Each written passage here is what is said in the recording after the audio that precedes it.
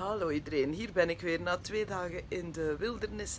Ehm, zijn we terug onder de levenden. We hebben vandaag heel veel in de bus gezeten. Dat geeft tijd om een beetje te reflecteren, om alles een beetje te laten bezinken.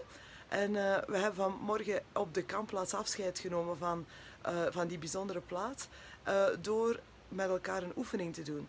En we hebben met een groep van een, een 34-tal mensen um, verteld aan elkaar wat we in elkaar als kracht zien, als sterkte. En niet alleen maar zo, jij bent uh, lief of jij bent vriendelijk. Nee, met concrete voorbeelden uh, hebben we elkaar een oprecht compliment gegeven. En de uitnodiging die erop volgde was om daar ook iets mee te gaan doen. Want het is wel goed om te weten wat jouw sterktes zijn of wat jouw goede kwaliteiten zijn. Maar als je er niks mee doet, dan blijft het uh, een dode letter op papier.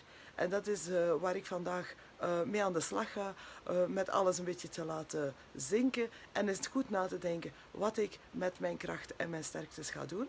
En ik denk dat het ook in, in bedrijven en op vlak van werkgeluk een heel goed idee kan zijn om samen met de collega's de oefening eens te doen. Om te kijken wat zijn de sterktes van iedereen.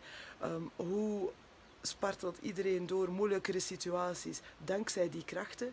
En benoem dat ook eens tegen elkaar. Zeg eens uh, wat jij vooral apprecieert in de ander, waarom en wat jij met jouw kracht gaat doen of wat die ander met zijn kracht kan doen. Mag, mag die daartoe uh, uitnodigen. Voilà, wij trekken er vandaag weer op uit en ik zie jullie graag de volgende keer terug. Dag!